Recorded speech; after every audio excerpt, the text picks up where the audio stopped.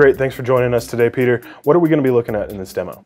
So today we're going to be comparing the inefficient uh, LM78 uh, linear regulator versus our efficient R78 switching regulator. Right away you can see that the part count of the LM78 is several components including a heatsink, thermal paste, nuts and bolts, and of course the extra labor, while the R78 solution's part count is one. If I take a linear regulator with 5 volts out, you see that the input and output current are the same, meaning that the power loss is quite high. You can see in the thermal images that this will result in a significant amount of heat generated, reducing the lifetime of the entire application.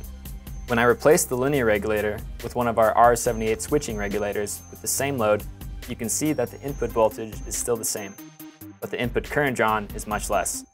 This results in a greater amount of power being transferred to the load as opposed to being dissipated as heat. The total cost of ownership of a design has to be considered in this case. While the bill of materials of the linear regulator might be a bit cheaper than an R78, other factors need to be looked at. The heat dissipation reducing the lifetime of the nearby components needs to be considered. Also, the part count is reduced, which simplifies sourcing. Finally, as the modules are pre-certified and EMC tested, time to market is greatly improved.